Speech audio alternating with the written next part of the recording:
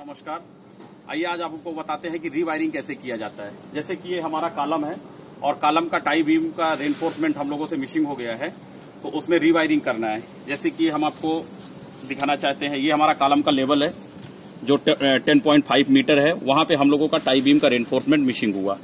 Tie beam का जो beam है, उसका टॉप लेवल है टेन पॉइंट नाइन फाइव और बॉटम लेवल जो है हमारा है, वो है आपका टेन पॉइंट फाइव ठीक है? इसमें हमारा बीम का जो साइज़ है वो है 400 हंड्रेड बाई फोर का, जिसमें रेनफोर्समेंट टॉप में दिया हुआ है 25 डाया का तीन नंबर और बॉटम डाया का ट्वेंटी ट्वेंटी डाया का तीन नंबर यानी 25 जो है वो टॉप में है और 20 जो है वो बॉटम में है, दोनों में ही तीन तीन दिया है। अब उसके लिए सबसे पहले क्या क्या अरेंजमेंट लगता है वो आपको मैं दिखाता हूँ। सबसे पहले ये हमारा हो गया हेल्टी मशीन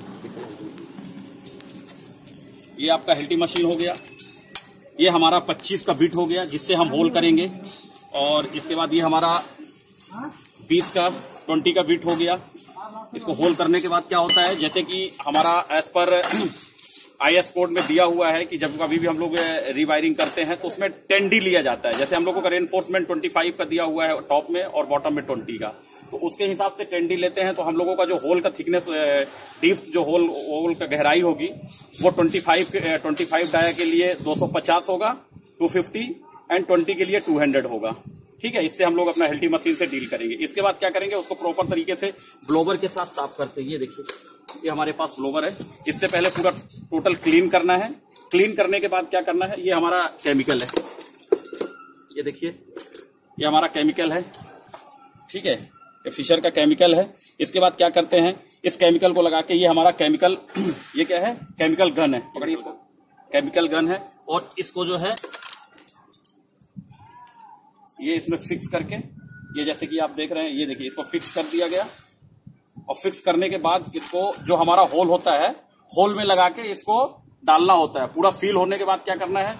इसको करने के बाद हम लोग सरिया डालेंगे, जैसे कि हम आपको दिखाने की कोशिश कर रहे हैं। जैसे कि ये देखिए, आपका रिवायरिंग के लिए जो हम लोगों ने होल किया है, ये होल मशीन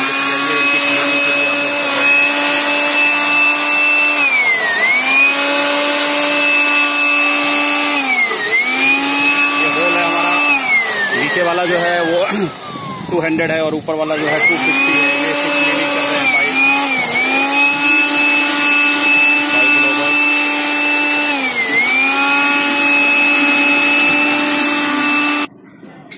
ये दोस्तों देखिए, ये हमारा केमिकल है। केमिकल में ये हमने नोजल लगाया। ठीक है? ये फिशर कंपनी का है। F I S V L four thirty C अब ये देखिए हम लोग क्या करेंगे? ये ट्वेंटी के डाया के लिए ये हम लोग अभी केमिकल डाल रहे हैं। ये देखिए, होल के अंदर। ये थोड़ा बाहर गिरा थोड़ा बाहर। ये ये रहा केमिकल, ये देखिए। चलो। ये पॉकेट पॉकेट के अंदर ये देखिए, पूरा केमिकल डाला जा रहा है।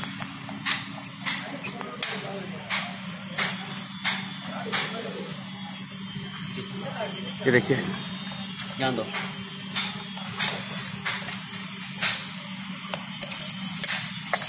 ये हमारा शरिया अंदर जा रहा है।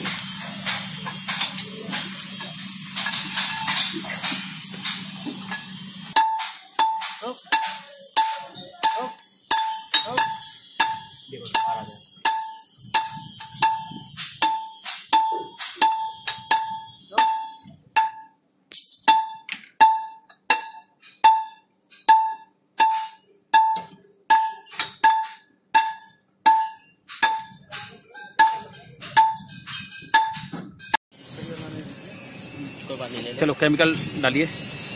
होल में।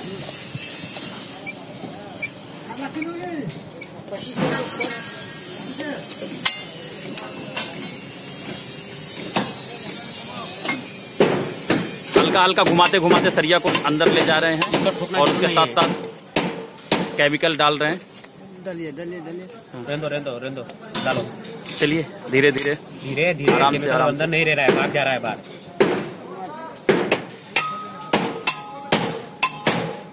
बस हो गया करने का। ले लो, लंबा लाइए ना। ये देखिए, हम लोगों ने 25 डाया के लिए जो होल किया है, इसमें हम लोगों का ये 250 डिफ्ट का होल है, और इसमें ये केमिकल डाल रहे हैं। केमिकल डालने के बाद ये रहा 25 का डाया का हमारा रॉड है। इसको हम धीरे धीरे घुमाते हुए अंदर ले जाएँगे। ये देखिए, ये घुमाते हुए अंदर ले जा रहे हैं। और हल्का हल्का केमिकल को भी डालते हुए हल्का हल्का केमिकल को भी अंदर डालते हुए। निकालो बाहर। बाहर निकालो निकालो पूरा।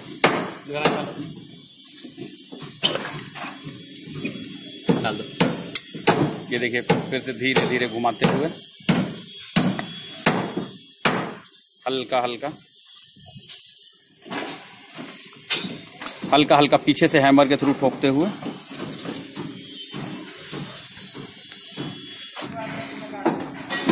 ये देखिए एक बाटल खत्म होने के बाद सेकंड वाटर हम लोग लगाते हुए।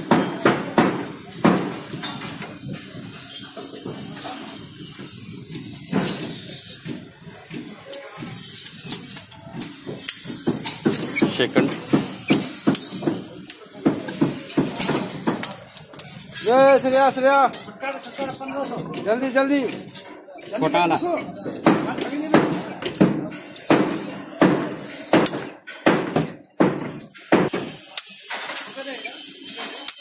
कंप्लीट चला गया ना? कंप्लीट गया। चलो गुड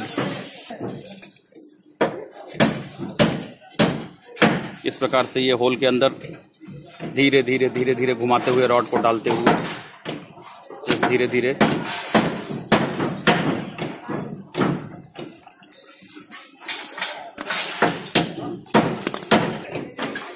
ये फाइनली हमारे पच्चीस के तीन रॉड ऊपर और पच्चीस के तीन रॉड नीचे।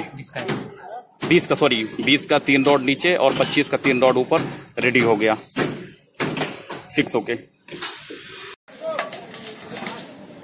देखिए, ये हमारे इस प्रकार से सरिया रेडी हो गया और ये लग के हमारा जो बीम था टाई बीम जिसका रॉड मिसिंग था, वो सरिया लग के कंप्लीट हो गया।